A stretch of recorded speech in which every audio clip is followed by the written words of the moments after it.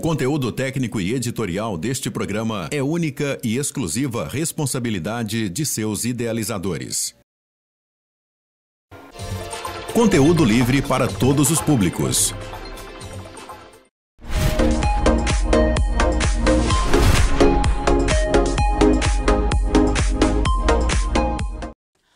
Olá pessoal, tudo bem com vocês? Estou chegando com mais uma edição do programa da Tamires para vocês. Hoje nós temos o Dr. Augusto Legnani Neto respondendo perguntas sobre catarata, pterígio e tudo mais. Eu vou para o comercial e volto já já com o Dr. Augusto Legnani Neto, oftalmologista e cirurgião.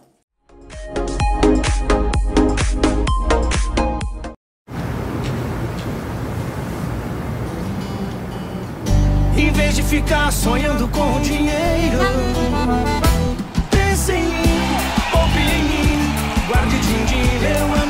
parceiro. Vamos pegar o primeiro milhão, com destino à felicidade, a felicidade.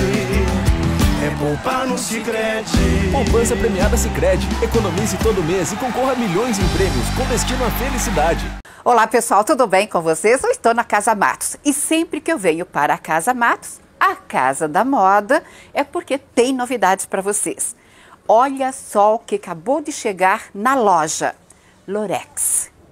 Lindos, maravilhosos, da cor que você deseja, porque é um tecido maravilhoso. Aquele tecido que está prontinho, depende da costureira, olha, você vai ficar né, linda. Aqui nós temos o, o salmão, nós temos o lilás, temos o branco e temos o vermelho. Lindos, não é? Mas aqui do lado, olha só a amarração que as meninas da loja fizeram. Praticamente está pronto. Um lorex lindíssimo em verde, né? Um tom lindo, lindo. Aqui tem o tecido para vocês verem o quanto que esse tecido é lindo. Aqui nós temos o rosa com fundo pink. Esse Lorex é lindo demais, muito bonito e vai te deixar muito elegante. Veio preto também, gente. As mulheres que gostam daquele pretinho está aqui.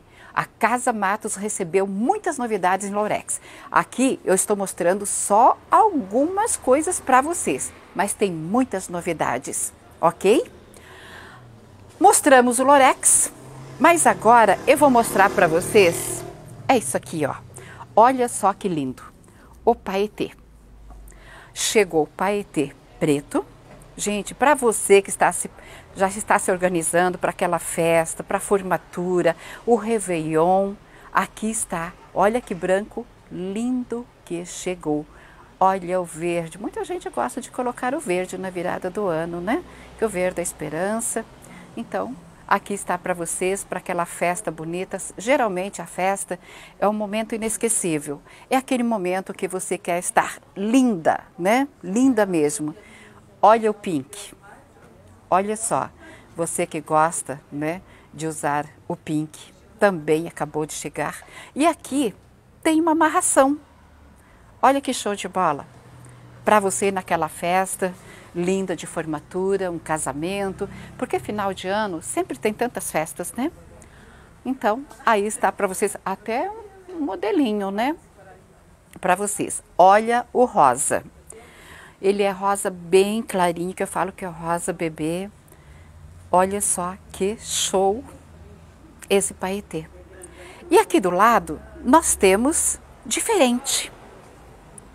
Também um paetê diferente né? Onde você, é claro, vai ter que colocar forro como os outros, mas olha que lindo esse verde, né? Um verde água. E aqui nós temos um azul marinho bem escuro. Utilize o crediário Casamatos, o Credimatos, cartões, cheques, do jeito que você quiser.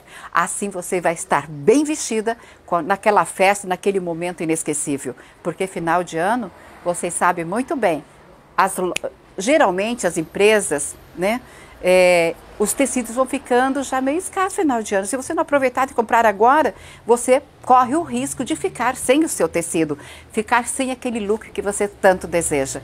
Corre para Casa Matos e aproveite, porque a saída está sendo enorme.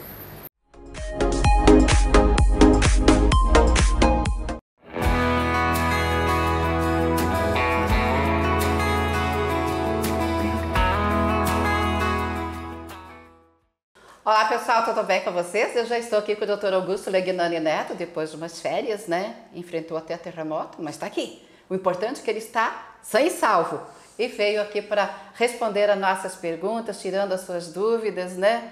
De uma certa forma, ajudando todos nós.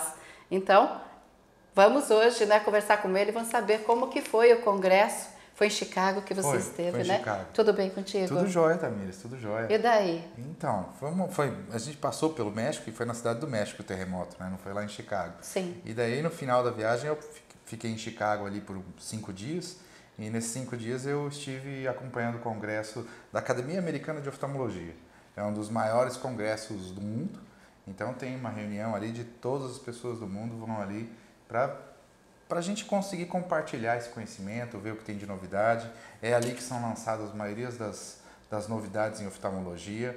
Hoje em dia, ah, nesse congresso, as, as novidades se concentraram principalmente nos tratamentos eh, farmacológicos, então a gente não tem mais muito, muito diferencial nos nossos equipamentos, então os equipamentos que a gente tem aqui na clínica eles estão em, dia, não tem nada de novidade na questão de equipamentos, a única coisa que a gente trouxe de novo foi o conhecimento para esses novos tratamentos que são farmacológicos, que são medicamentos novos que estão vindo aí para tratar doenças diferentes. Então, teve bastante coisa interessante nesse sentido.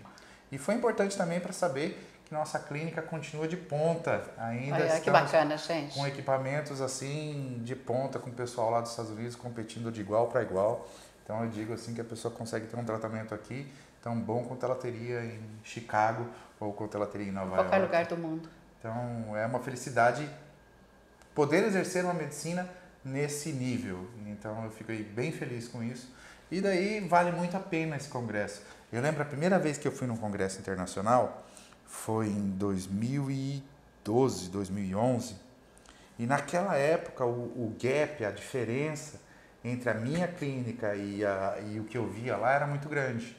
E eu pensei assim, quando que eu vou chegar nisso? Né? E quando eu já voltei em 2016 para um, pra um congresso de, of- de oftalmologia lá em San Diego, nesse ano eu já vi que já tinha equiparado o nível. E agora a gente vê que a gente está competindo de igual para igual. A gente está andando na ponta mesmo do conhecimento tanto tecnológico quanto o conhecimento é, empírico, né? o conhecimento de tratamentos. Então é muito feliz, pra, é muito feliz, é uma felicidade muito grande para a gente que trabalha com saúde poder saber que a gente está fazendo o que tem de melhor. E o Dr. Augusto Legnani Neto, oftalmologista, sempre se atualizando e participando de grandes congressos. É, você- o anterior você foi para a Alemanha, né? Sim, em- antes da pandemia, né? Então, é, depois a gente ficou preso aí um tempo. Em 2019 eu passei lá três semanas na Alemanha, no hospital em Tübingen, acompanhando o serviço de oftalmologia desse hospital. E também foi um conhecimento muito interessante, saber como eles trabalham ali. O método de trabalho deles é um pouquinho diferente do que a gente tem aqui no Brasil. Também é muito interessante. A medicina lá é uma medicina muito legal. O pessoal diz assim, é muito avançada, mas eu acho que o tratamento também está bem, bem no nosso nível, bem no nosso. Nós conseguimos se equiparar em tratamento a eles bem de perto. Especialmente os tratamentos das clínicas particulares. Eu acho que as nossas clínicas particulares, inclusive, são mais bem equipadas do que as da Não Alemanha. deixa a desejar em nada. É, o que lá tem de muito legal é a parte de tratamento pelo Estado, né? Que lá na Alemanha eles têm um tipo de... um- lá não é como o SUS aqui, lá não é assim sem nenhum custo. Né? A gente diz sem nenhum custo, mas ele custa impostos. Mas lá para você usar, você tem que deixar uma parte do seu salário. Então você vai deixar 10% do seu salário para poder ter acesso a esse sistema de saúde, que é o sistema de saúde público. Então é um sistema muito bem equipado, porque além dos, dos, dos impostos, ele ainda conta com esse 10% de participação de quem quer usar. Então é um sistema bem, bem interessante. Ai, que bacana, gente. Eu fico feliz também de saber que nós não devemos nada, não tem nada de diferente. Nada diferente. Estamos aí, ó, tudo top, graças a Deus. Então vamos lá fazer a pergunta para o doutor Augusto, que chegou para gente no dia de hoje. É, as duas que eu vou fazer, né, chegaram hoje. José é, Roge. Eu estou necessitando realizar cirurgia de catarata, mas eu tenho medo de ter descolamento de retina. É, esse é um, esse é um, esse é um medo interessante. Assim, ó, o descolamento de retina ele é mais comum na cirurgia de catarata em pacientes jovens, pacientes com menos de 55 anos. É mesmo? É, o vítreo é mais aderido, Tá? O vítreo é o gel que a gente tem atrás do olho, atrás do cristalino. Esse vítreo, com o tempo, ele vai se desgrudando do fundo de olho. E quando a gente opera um paciente mais jovem, a inflamação causada pela cirurgia, o movimento mecânico da cirurgia pode fazer com que esse vítreo seja tracionado. E essa tração, por esse vítreo ser mais aderido, pode fazer um descolamento de retina. Então a gente sabe que esses pacientes que operam antes dos 55 anos têm maior risco. Depois dos 55 anos, esse risco diminui bastante, mas ainda pode ocorrer caso você tenha algum problema durante a cirurgia e mesmo que você não tenha nenhum problema. Mas a prevenção desse problema é o mapeamento de retina, é fazer uma boa consulta. Se a tua retina não tiver nenhuma alteração, não tem por que isso ocorrer por causa da cirurgia. Uhum. E mesmo que você não opere, se você tiver um defeito da retina, sua retina vai acabar descolando.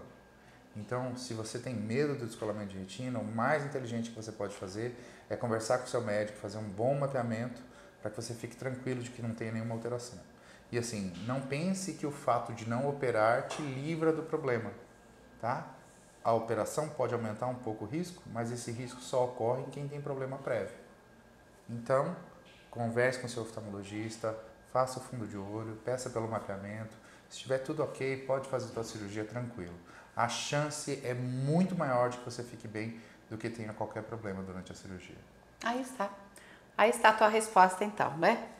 Estamos sempre atentos com tudo que vocês mandam pra gente. Doutor Augusto, eu fiz a cirurgia de catarata há dois meses, estou pior que antes. O que pode ter acontecido? O senhor respondeu isso há pouco tempo, mas eu estou com o mesmo problema. O que pode haver? Podem acontecer várias coisas, tá? A primeira das coisas, que é a mais simples, é que durante o cálculo dessa lente intraocular, esse cálculo não tenha sido exato e você tenha ficado com grau. Mas isso é fácil de corrigir, é só corrigir o teu grau. Existem problemas quanto à cirurgia, posicionamento da lente, mas normalmente esses problemas de posicionamento e inflamação causam dor.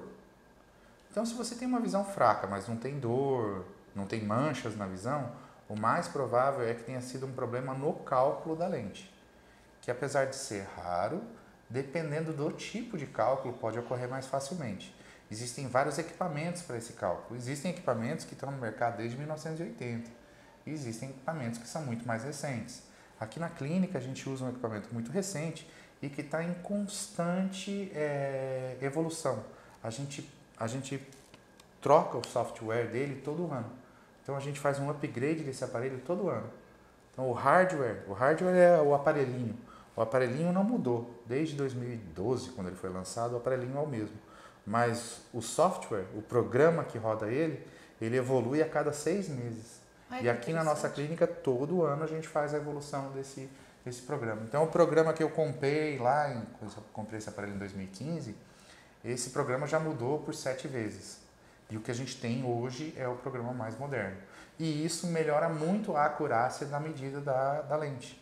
E existem pessoas que não podem usar esse aparelho porque esse aparelho, infelizmente, custa muito caro. E existem clínicas então que usam ainda os aparelhos de imersão, de ultrassom, que são aparelhos que têm uma acurácia menor. Então pode ser que você esteja só com grau, especialmente se você não está com nenhuma dor, o olho não está inflamado, não está vendo nenhuma mancha. O mais provável é que tenha sido um problema no cálculo do grau da lente. Converse com o seu oftalmologista, ele vai te saber Sempre, né, doutor? Sempre está em contato com o seu médico, porque na verdade quem sabe toda a situação é ele, né? Doutor, é, Aqui veio uma, uma questão: como é feita a cirurgia pelo SUS? Pacientes usando a mesma maca, mesma sala, vários na mesma sala. Então, se for assim, o risco é grande de contaminação. O que, que o senhor acha a respeito deste assunto? É, eu acho que contaminação não só até na cirurgia dos olhos, é no geral, né? É, é não, sim, desse jeito é horrível. Bom, eu posso falar pela experiência que eu tenho com o serviço do SUS, que foi onde eu fiz a residência, com o Hospital de Olhos de Londrina. O Hospital de Olhos de Londrina, o Oftalon, lá naquele hospital, as cirurgias eram feitas cada paciente em uma sala, todos os pacientes tinham procedimento individual, todos os pacientes tinham campos descartáveis, todos os pacientes tinham materiais descartáveis, cada é, a gente usa um, um, líquido dentro do olho que chama viscoelástico. A gente injeta ele e ele, e ele vem um tubinho de 2 ml. A gente usa meio ml. O 1 ml e meio que sobrava era descartado. Então, o que eu vi lá era uma cirurgia praticamente igual a uma cirurgia particular. O viscoelástico usado é mais simples do que o que eu uso na minha cirurgia. Claro, na minha cirurgia eu posso comprar um visco mais caro, mas eram todos aparelhos descartáveis. Então, sim, o que a gente vê na cirurgia né, nesse hospital que eu, em que eu operava é que tudo era descartável, tudo era feito com segurança. A única diferença era que todos os materiais usados eram muito mais simples do que os materiais que eu uso numa cirurgia particular. Porque, claro, né, o, o, o tanto de dinheiro que você tem para fazer uma cirurgia do SUS é, é muito menor do que o do dinheiro que você tem para fazer uma cirurgia particular. Então, numa cirurgia particular, a gente consegue, consegue usar materiais muito superiores, muito mais seguros, a cirurgia fica muito mais fácil, né? Mas lá, o que eu tenho de experiência era cada paciente no seu lugar, todos os procedimentos individuais, tudo feito sem correria, tudo feito de maneira correta. Existem, a gente ouve falar de lugares em que isso não acontece? Eu ouço falar, mas se você chegar no dia e ver que você está num lugar desses, gente, levanta e vai embora. Você não é obrigado a fazer porque estava na fila, porque ele te marcou. É, se você chegar lá e ver que ah, estão pondo todo mundo na mesma sala, estão pondo um do lado do outro, realmente não tem condições de se fazer uma cirurgia dessa maneira. Se você passar por isso, gente, levanta, saia, denuncie tá? Tem Ministério Público para isso, tem Secretaria de Saúde, tem todo mundo vai lá ver o que está acontecendo, tá? Se isso está acontecendo, é sem que as pessoas saibam. Eu sei que podem existir serviços dessa maneira, tanto em oftalmologia quanto em qualquer área, tá? Uhum. E como a gente sabe que em qualquer qualquer profissão a gente tem as pessoas que fazem direito e as pessoas que fazem nem tão direito. Então, gente, se você passar por uma situação dessa, denuncie denuncie, chame a Secretaria de Saúde, chame a promotoria, não, não deixe isso passar. Dá para ser feito diferente, sim, que eu tenho experiência de hospitais que eu passei que faziam diferente, tá? E, e eu pedi aos colegas que se tiverem que fazer cirurgia num lugar desse, pensa bem. Então, aí o doutor respondeu então a sua pergunta, já tirou as suas dúvidas. Aqui sempre tem muitas perguntas, então, aí ah, pode mandando mais, viu? Que nós gostamos. É, tem um, uma, uma pessoa aqui que mandou falar o seguinte para o doutor. Doutor Augusto, o senhor é um médico muito simpático e com uma linguagem acessível a todos. Gostei muito, principalmente quando o senhor fala sobre catarata e pterígio. É, eu acho que é das perguntas que mais vem para ti, é catarata e pterígio. É, eu acho que cirurgia é o que. Eu não sei se é uma das cirurgias que mais acomete as pessoas. É, são as cirurgias que mais acometem, mas também eu acho que cirurgia é, é uma coisa que preocupa muito. E como são cirurgias um pouco mais comuns, então eu, eu entendo a preocupação e a necessidade de saber sobre isso. A gente fica preocupado, tudo que for mexer no olho, mas, gente, hoje em dia, numa clínica boa, com um médico de confiança, vocês podem fazer cirurgias oftalmológicas tranquilos. As cirurgias são são, são para ser procedimentos tranquilos. Verdade. Só uma, mais uma, para terminar nossa lista, tá? É, uma pergunta para nós a respeito de uma senhora aqui de Umarama, que ela, ela tanto câncer de mama, né? Acho que ela até já veio consultar contigo. E, e a, o câncer de mama, ela falou que está tudo certo, está curada mas agora começou câncer nos ossos. Então começou todo o tratamento de novo, é um tratamento bastante agressivo, com quimioterapia, depois vem a radioterapia. E ela gostaria de saber de você, isso afeta muito os olhos?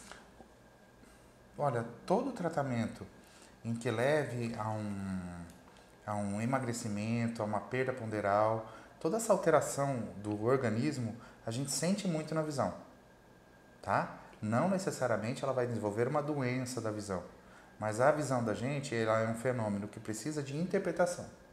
Então, se você está ansioso, dá a impressão que a visão diminui. Você já viu quando a gente está procurando alguma coisa, a gente até abaixa o volume da música, quando a gente está procurando alguma coisa, uma rua no carro, porque até o volume pode atrapalhar a nossa percepção Verdade. da visão. Então, assim, se você está passando por, por, por, esse, por essa dificuldade aí, é normal que você sinta a visão mais baixa não necessariamente o tratamento vai causar alterações na sua visão.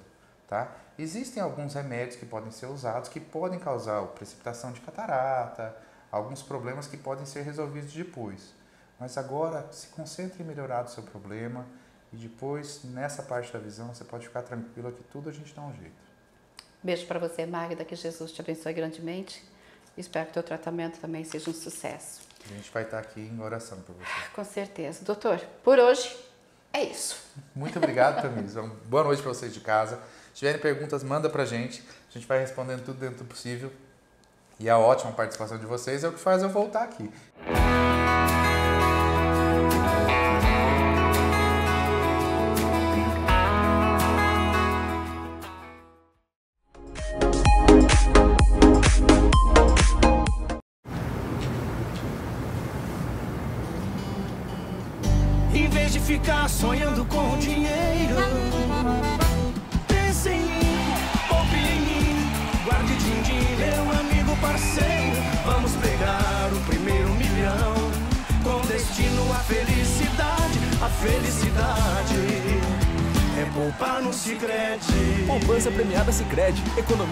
mês e concorra a milhões em prêmios com destino à felicidade.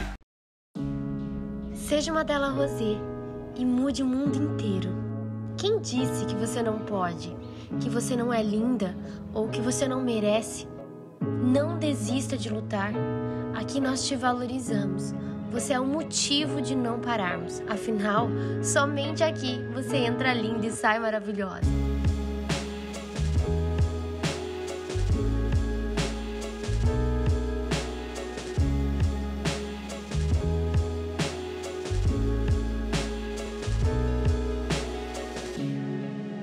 Seja Della Rosé.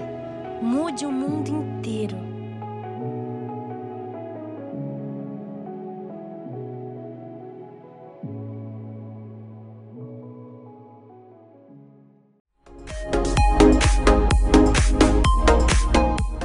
E hoje nós estamos recebendo Felipe Masson. Ele é um profissional piercer, de- despigmentador, ele é aluno também de, de medicina, biomedicina. Nós vamos conversar com ele a respeito desse assunto, que muita gente gosta de um piercing, só que ele também tem uns piercing bem diferenciados. Vamos saber quem gosta mais de piercing, é os homens ou as mulheres? Quem coloca mais, né? E quais os procedimentos que, que realiza no seu consultório, porque ele realiza muitos procedimentos no seu consultório. O Felipe tem o seu consultório, isso é muito bom. Aqui tem um monte de perguntas, mas já vamos começar a conversar com ele, né? Para não me alongar. Tudo bem contigo? Olá, Tamires, tudo bem E com você? Desde já, desde já sou muito grato pela oportunidade de estar aqui nesse programa maravilhoso. Mas nós que ficamos bem gratos mesmo em recebê-lo, porque trabalhar e falar de piercer e de pessoas também que já é do meio, que trabalhou no meio de comunicação como você, as coisas ficam bem melhores para ser conversado, não Ai, é? fica bem mais fácil, Bem né? mais fácil. Você está com vários piercing. Isso, eu tenho alguns. Já tive mais, mas hoje em dia É? tenho só alguns. Agora, eu já vou começar a fazer perguntas para ele aqui, porque é tudo curiosidade. É, para você higienizar seu rosto, para você passar um creme, alguma coisa, você tem que tirar todos? ou não precisa? Não, não, não há necessidade. Você nunca tira, então? Eu tiro, assim, esporadicamente, às vezes, assim, uma vez por semana. Às pôr um a- diferente, às Isso, vezes? às vezes tem algum evento mais diferenciado, né? Ou às vezes chega reposições de peças, que daí eu também gosto de estar usando, né? Porque às vezes tá na rua, no mercado, algum local. Nossa, mas que joia linda! Tenho em estoque tanto dessa quanto outras mais bonitas também. Mas é muito, é muito raro eu ficar trocando mesmo. Mas é bem bacana. E é super tranquilo, assim, no dia a dia, a higiene é super tranquilo. É, e tem que fazer higiene. Tem, tem. Não é porque só pode correr o risco de, de uma inflamação, alguma Sim, coisa? pode correr o risco de uma inflamação, uma contaminação cruzada, né? Isso na fase de, de cicatrização. Desde que ele já esteja cicatrizado, aí você pode remover sempre que quiser para estar fazendo a limpeza. Agora você é um estudante de biomedicina. Isso. Você já faz isso por motivo, até mesmo por teu trabalho ou não? Também, na verdade, meio que casou um pouco. Eu meio que cresci na parte laboratorial por conta da minha mãe, que ajudou também a tocar o laboratório da Unipar por 24 anos. Pouco tempo, né? pouco tempo. Então eu meio que cresci em laboratório e ela sempre falava: Felipe, entra pra área, você vai gostar. Aí eu entrei pra área, eu já tinha 24 anos, mas eu já desempenhava a atividade de piercing. E daí foi associando, sabe? Foi abrindo os caminhos e vários, né, vários leques aí que a gente pode utilizar com a liberdade da, da própria biomedicina. Agrega muito no segmento. Não, eu acho que sim. Até você pode, é, você vai passar isso para o teu paciente, para o teu cliente, os cuidados, os devidos cuidados, Isso. tudo, porque você, como estudante da biomedicina, você já sabe que pode inflamar, Exatamente. que tem que desinfetar de vez em quando, é isso tudo. É, e assim, com mais, com mais conhecimento técnico, né? E afirmação e respaldo daquilo que nós estamos passando para todos os nossos clientes e até aqueles que não são clientes, que têm muitas dúvidas, né? Por exemplo, às vezes, ai, minha filha de 12 anos quer fazer o primeiro furinho, como que faz? Então, antes a gente tira todas as dúvidas e fica mais respaldado também dentro da lei, conforme exige, né? Você falando assim, agora lembrei, você coloca o primeiro brinquinho, tudo, nos Coloco, bebezinhos, nas bebezinhas? Normalmente, assim, eu opto e eu aconselho a, por exemplo, aguardar crescer, né, um pouquinho e ter a vontade própria Ah. para fazer a perfuração, porque querendo ou não, é um trauminha ali que a gente gera, né? Mas com toda essa biotecnologia que nós temos em consultório hoje em dia, que é o que minimiza completamente a dor, temos o laser cicatrizante também, que ele acelera o processo de cicatrização de um piercing, de um ferimento, de uma um procedimento pós-remoção de tatuagem, ou até mesmo micropigmentação. Então, nós temos as ferramentas aí que contribuem para que o procedimento seja mais tranquilo e que cicatrize mais rápido também. Você cuida da sobrancelha também? Eu só removo as micropigmentações Só? aí. Aham. Exato. Tudo com anestesia, né? É, nós aplicamos uma pomadinha aí que ajuda muito, muito mesmo. Bom, no teu consultório, o que que você faz? Tanto você coloca só piercing, você remove as tatuagens. Isso. Eu estava até brincando aqui, né? Vai querer gravar e vai querer escrever ali o nome do namorado, da namorada, né? No corpo, coisa assim. Agora, qual que é o mais difícil? É você fazer o trabalho ou remover o trabalho? Olha, remover dá mais trabalho. Um pouquinho mais É bem mais trabalho. dolorido. É um pouquinho mais dolorido. É- E assim, a tatuagem, por exemplo, ou a micropigmentação, nós fazemos, né? O público faz, digamos, por luxo, né? É, seria um- uma coisa opcional a se fazer. Já uma remoção, não. Uma remoção é uma necessidade. Às vezes é um trabalho que ficou um pouco mal feito, às vezes, por exemplo, era para escrever um nome e acaba, acaba o profissional às vezes acaba errando uma letra ou faz uma micropigmentação que fica muito grotesca. Ah. Então, o fazer acontece muito. Muito. O fazer é luxo. A remoção é uma necessidade. Falou tudo. Infelizmente. Lembra da, da cantora Kelly Key? Lembro. Como ela sofreu para tirar? Lembro, Ela tinha o aham. nome tatuado na perna, né? É. Daí ela se casou E e, principalmente por assim ser um trabalho que demanda tempo. Então, às vezes, para a gente concluir né, uma remoção, eu costumo tratar realmente como um tratamento. Ele vai clareando gradativamente, só que a gente só consegue realmente finalizar o tratamento após todas as sessões. Então, por exemplo, começamos, temos que aguardar de 30 a 45 dias, né, para a própria pele ir regenerando para a gente poder fazer uma outra sessão. Então, às vezes, por exemplo, para fazer um nome é 10 minutinhos para tatuar, mas para remover, às vezes pode demorar até um ano por conta do intervalo de uma sessão para outra. sim, porque você machuca bastante a pele. A pele É. fica sensível. Fica sensível e ele vai clareando gradativamente. Então, assim, ele é, as, principalmente as tatuagens em micropigmentação em preto, cinza, elas são a que a gente consegue remover basicamente 100%, só que demanda esse espaçamento de tempo para a cicatrização da pele. Então, leva mesmo um tempinho. Sim, e, e muitas pessoas às vezes nem esperam tirar totalmente, já faz uma outra em cima É. para Disfarçar. disfarçar. Essa que é a palavra certa. É, um- bem... é um disfarce. Isso. E, e se o foco às vezes for clarear para fazer uma cobertura com uma outra pigmentação, aí o procedimento é mais rápido. Daí a gente não precisa, digamos, concluir o tratamento de remoção. A gente não precisa tirar 100%.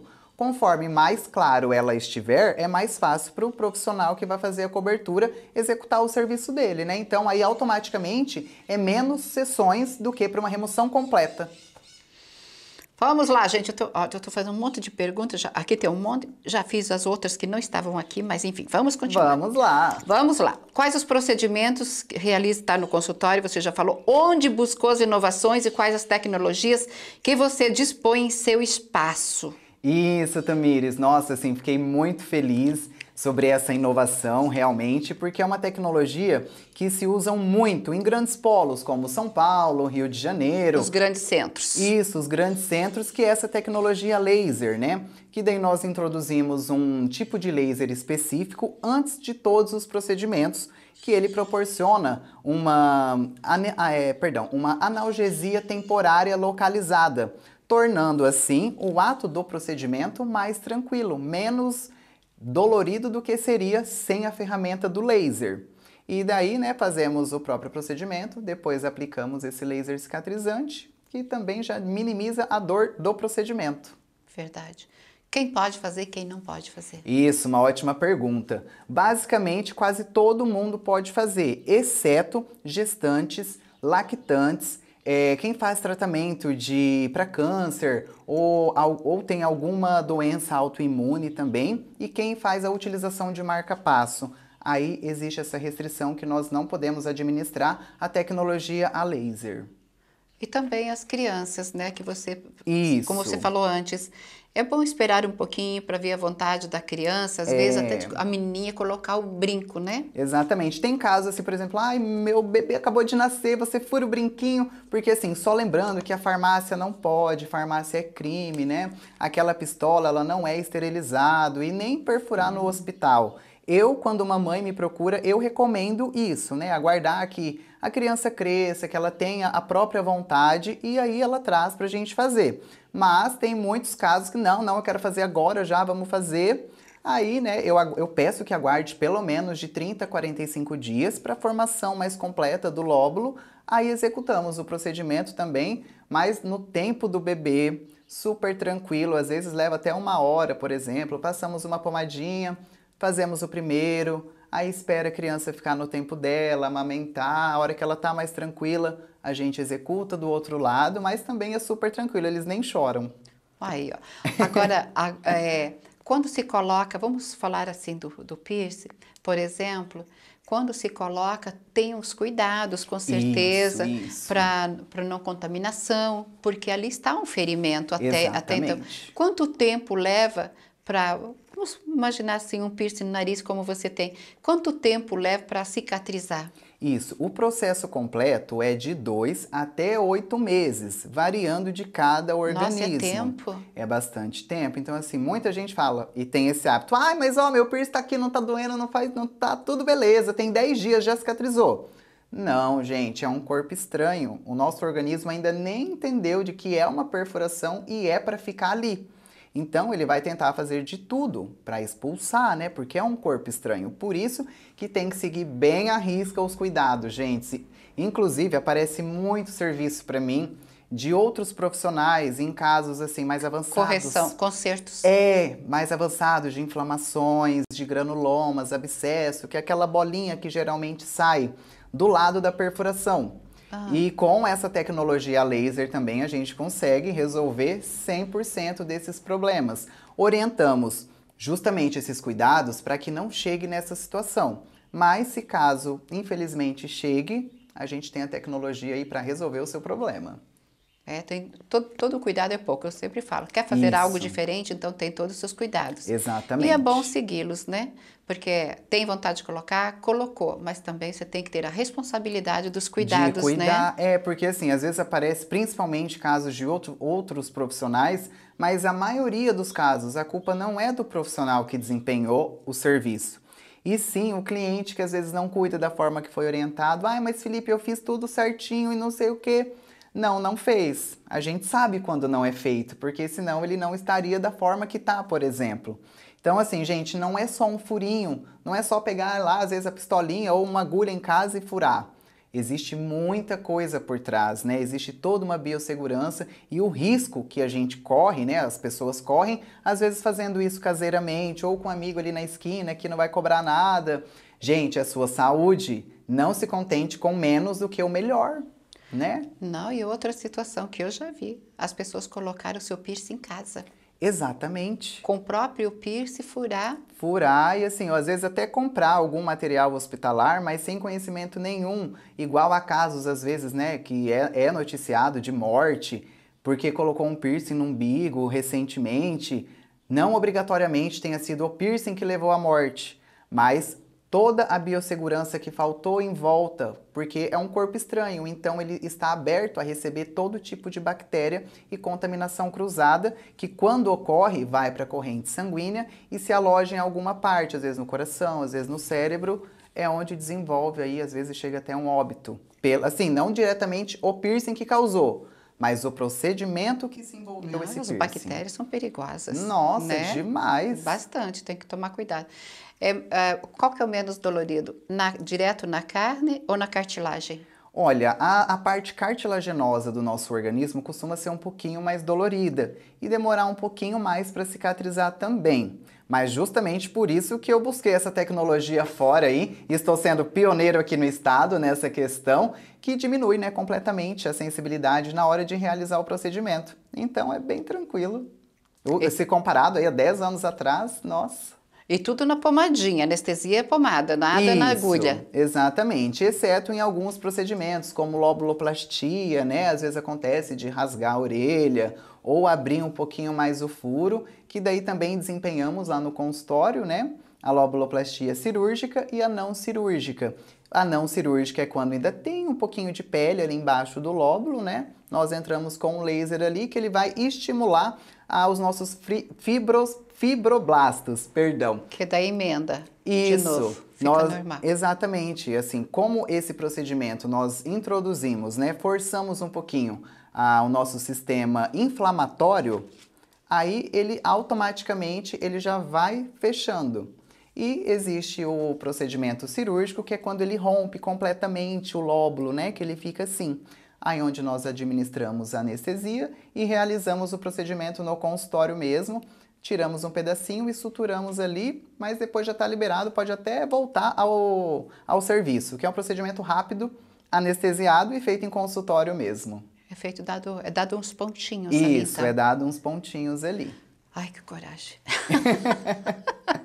Há casos, né? Por exemplo, às vezes faz em casa, daí acaba fazendo muito para baixo, aí rasga. Eu tive um caso, inclusive, de uma paciente. Ela me mandou uma foto de uma orelha. Aí Felipe rasgou um filho, né? Eu amamentando, um filho puxou e rasgou.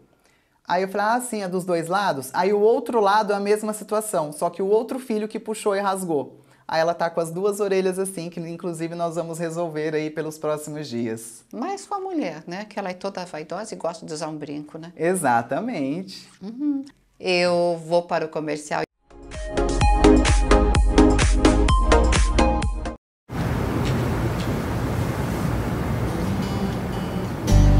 Vez de ficar sonhando com dinheiro, pense em mim, poupe em mim, guarde din-din, meu amigo parceiro. Vamos pegar o primeiro milhão, com destino à felicidade, a felicidade é poupar no Sicredi. Poupança premiada Sicredi. Economize todo mês e concorra a milhões em prêmios com destino à felicidade.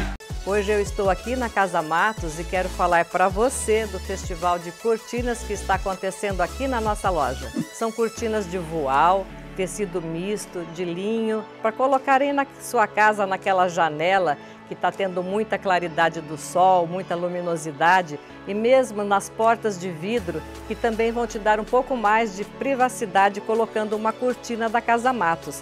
As nossas cortinas já estão prontas, são essas cortinas com ilhós que você coloca aí na sua casa, fácil de manusear. A manutenção é muito prática. Esta cortina, que é de blackout com ilhós, ela impede completamente a claridade do sol, ideal para você colocar no seu quarto ou na sua sala de TV. A Casa Matos tem aquela cortina pronta para você chegar e levar, mas se você precisa de uma cortina com uma medida específica para colocar no seu ambiente, na sua janela ou na sua porta de vidro, você vem até a nossa loja e solicite o seu orçamento. É, qual a maior dúvida dúvida dos teus pacientes, pessoas que frequentam lá. Felipe, vai doer? eu também acho que eu... É... dói. Felipe, vai doer? É, essa sua tecnologia, ela assim realmente funciona? Diminui mesmo a dor? Ajuda a cicatrizar? Sim, gente, se não resolvesse, né, a gente não estaria utilizando, porque já são equipamentos, né, na verdade, que já é utilizado para outros fins, tanto quanto terapêutico, quanto estético, só que para cada finalidade, né, ele tem a, a, sua forma de uso. Então, dentro da, da, minha área, né, na área de body art, direcionado a isso, ele também tem uma, eles, né, no caso, tem uma funcionalidade magnífica. Então, normalmente é se vai doer, o tempo de cicatrização, se pode ser feito, por exemplo, ah, eu fiz abdominoplastia, posso, fazer, posso perfurar o umbigo? Se passou de 9 a 10 meses e o seu médico já te liberou, podemos fazer sim, até disfarce a cicatriz, por exemplo. Mas normalmente é mais esse tipo de dúvida, assim. Ah, sobre remoção de tatuagem. Ah, vai doer também? Vai sair tudo? E também tudo influencia dos cuidados de cada pessoa, né? Verdade. Bom, praticamente a gente já falou sobre, em média, quanto tempo leva os procedimentos, né? Uhum. Isso varia, né? Isso varia, exatamente. Porque Por... se eu quero fazer o nariz, se eu quero fazer a orelha, se eu quero colocar no umbigo, Isso. até mesmo tem muitos que colocam no mamilo. Aham, uhum, né? bastante. Uma outra dúvida, aproveitando Isso esse... tanto homens, acho que quanto mulheres, não uhum, é? Isso é, é, bem, é bem diferente, assim, as duas partes. E uma, aproveitando esse gatilho sobre as perguntas, é, me perguntam muito, Felipe, é verdade que aumenta a sensibilidade no mamilo? Sim, é verdade, gente. É sério? Aumenta, é muita gente colocando. Então. Aumenta a sensibilidade do mamilo. É, inclusive tem no ponto genital também, que ele também aumenta a sensibilidade. Ah, é verdade. É. Gente, isso é incrível. Uhum. Viu só, gente? Muito, muitas coisas que a gente não sabia. Estamos aí a, a, sabendo e aprendendo, né, com o Felipe. É, bom, aqui a média de agora dos procedimentos, do tempo, é como nós falamos, isso varia. Varia. Porque as pessoas, como nós falamos, ela coloca no mamilo, ela coloca no nariz, ela coloca na orelha, ela coloca no queixo, ela coloca ah, também na sobrancelha. Na sobrancelha, aqui no meio. Mas assim, o que o ato do procedimento em si é muito rápido.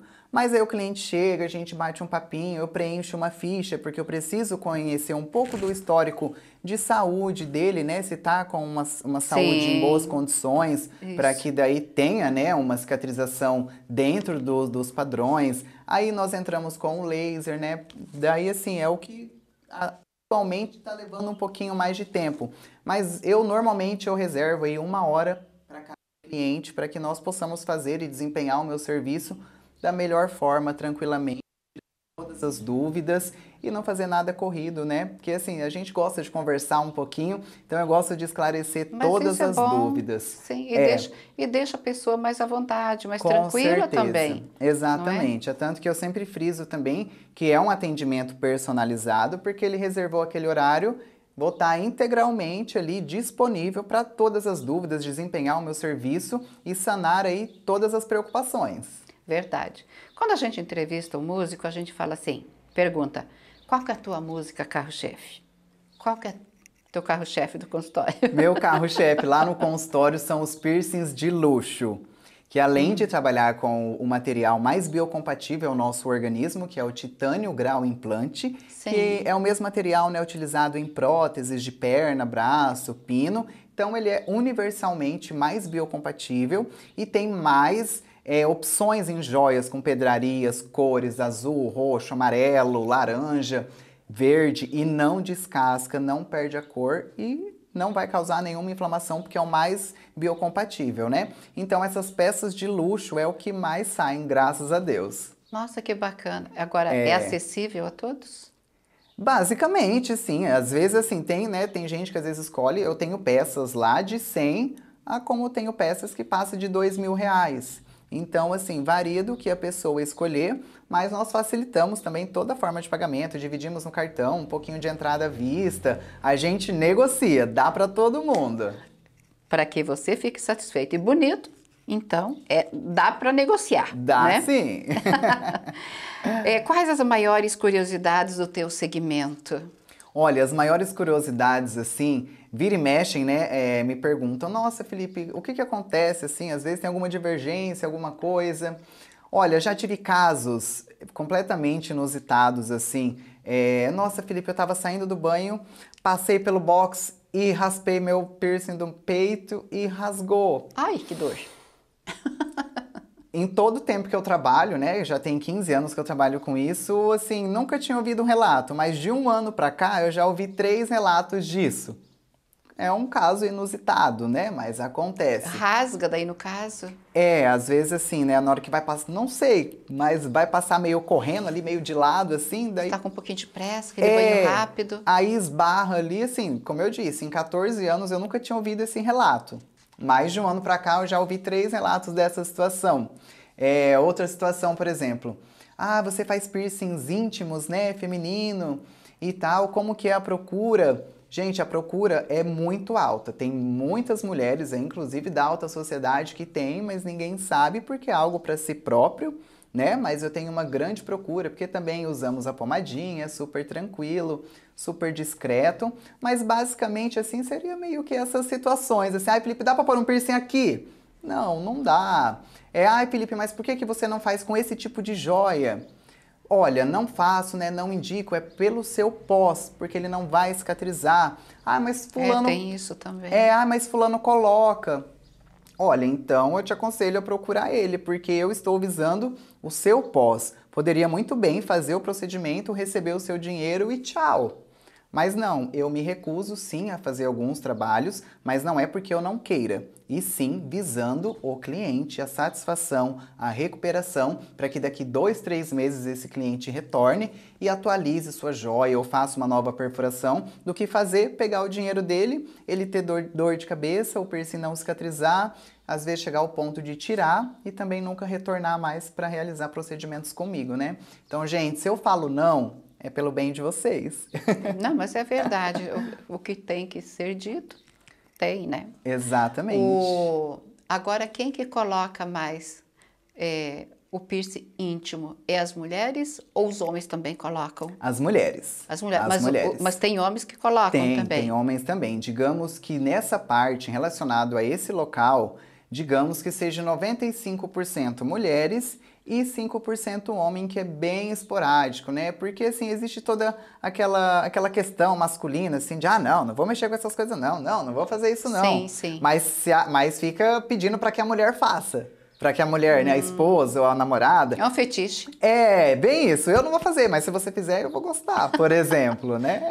É, é totalmente um fetiche, né? Então, uh -huh. vai, vai discutir o assunto. É bem isso. Verdade. É... Em média, quantas sessões a laser precisa para remover uma micropigmentação ou tatuagem que deu errado? Então, isso é uma das grandes perguntas. Nós já assim... conversamos a respeito, mas a gente fala de novo. Claro. é, isso é uma grande dúvida mesmo que eu recebo assim frequentemente, diariamente, que realmente assim varia de caso para caso mas em média entre 4 e 8, às vezes até 12 sessões, e depende também se o pigmento é um pigmento profissional, tanto da micro quanto da tatuagem em si, se foi feito há muito tempo, há quanto tempo, se houve retoque, se o objetivo é a remoção completa ou é o clareamento para daí fazer uma cobertura, né, com algum outro o disfarce que nós falamos. Isso. Agora, Felipe, já que nós tocamos no assunto novamente, é, muitas pessoas elas pedem para tatuar o nome de uma pessoa e essa pessoa vem a falecer. Uhum. Isso aconteceu já de você remover, ou tem pessoas que não querem remover, deixar o nome da pessoa? Isso, assim, na parte de remoção ainda não tive nenhum caso relacionado a esse exemplo em específico, mas como eu trabalhei também por 10 anos em um estúdio de tatuagem,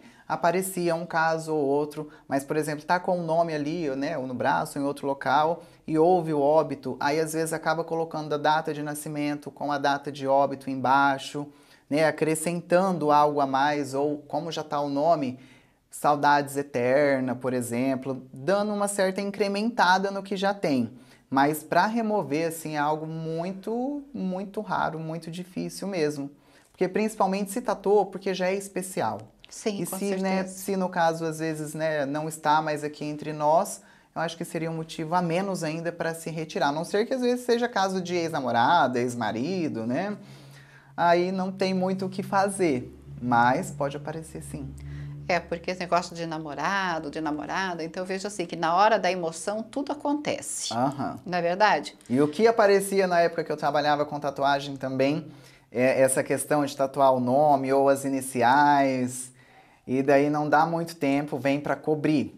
Aí, né, é complicado. Então, daí o que, que acontece? O casal separou, daí arruma uma outra pessoa, daí o, né, o amor pergunta o que, que são essas iniciais, o que, que é esse nome aí, né? O que, que é esse nome de Felipe aí? É. Daí vai explicar, né, quem que é o Felipe, então fica sempre, então o namorado ou a namorada sempre vai ver aquele nome tatuado, não fica legal, né? Não, não fica legal, Não não, fica fica, legal. ético. E assim, Não fica ético. E muitas vezes, às vezes, não acabam fazendo somente nomes. E sim, às vezes, algum símbolo É. que simboliza o casal. Às vezes, um, um faz uma chave, o outro faz o trinquinho da porta. Ou vice-versa, O né? coração é de praxe. É, o coração é de praxe, ou realmente, o coração, as iniciais, ou o nome mesmo é o que mais, né, mais aparece, assim, para remoção. Mas tem esses casos de símbolo que entra na parte, né, de simbologia ali. Mas que não deixa de estar relacionado à situação, né? Verdade. Eu conheci uma pessoa que eu, né, um casal de irmãos e ele foi assassinado. Depois que ele foi assassinado, ainda ela colocou, ela tatuou nas costas o nome dele. Olha. É, eu, eu vejo assim que ah, no- ne- ne- nessa situação de perder a pessoa, eu acho que você faz de tudo para não lembrar É. né? Porque lembrar de um jeito ou do outro, a qualquer momento você está lembrando, mas ter algo que você vai ver o tempo todo, eu acho que É eternizar. exatamente é eternizar. É. Então, tem tudo isso. Mas, Felipe, você gostaria de falar algo mais a respeito do assunto? Eu perguntei tanta coisa aqui para Ah. ele.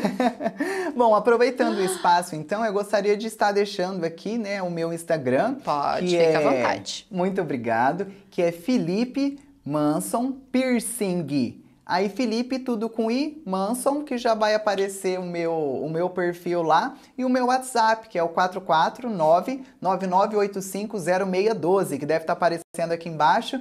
E entre em contato, tá com uma tatuagem aí para remover? Vamos remover. Tá com um granulomazinho, uma inflamação? Vamos agendar uma consulta que eu resolvo. E se você quer uma joia de luxo, tanto em aço cirúrgico, titânio grau implante, ouro, banhos, banhos de ouro, aqui você encontra tudo.